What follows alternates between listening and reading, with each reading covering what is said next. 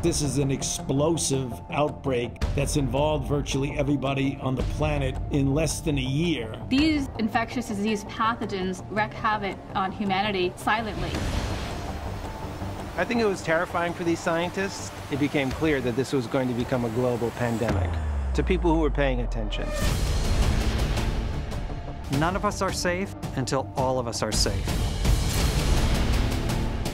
We needed to have a vaccine if we were going to triumph over this threat. Nothing like this has ever been accomplished before.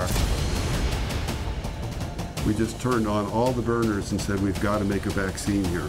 Not worrying about who was going to get the credit, just get it done. There was clear light at the end of the tunnel.